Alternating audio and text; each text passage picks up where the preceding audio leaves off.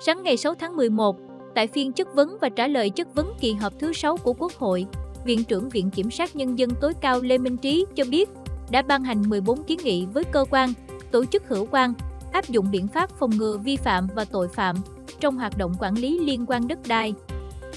Song song đó, ngành kiểm sát đã đổi mới, nâng cao hiệu quả công tác quản lý, chỉ đạo, điều hành, tập trung chỉ đạo các biện pháp nghiệp vụ nhằm bảo đảm thực hiện tốt chức năng, nhiệm vụ theo quy định của hiến pháp, pháp luật, nhất là nhiệm vụ chống oan, sai, bỏ lọt tội phạm.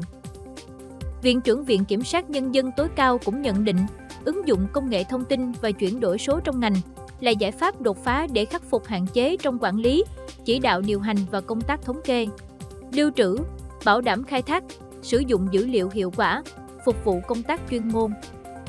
Về kết quả thực hiện nghị quyết số 82 trên 2019 trên QH14 ngày 14 tháng 6 năm 2019, Viện Kiểm sát các cấp đã quán triệt thực hiện nghiêm chỉ thị của Đảng, Nhà nước và các nhiệm vụ theo quy định của pháp luật để phát hiện, xử lý các hành vi phạm tội liên quan quy hoạch, quản lý, sử dụng đất đai tại đô thị.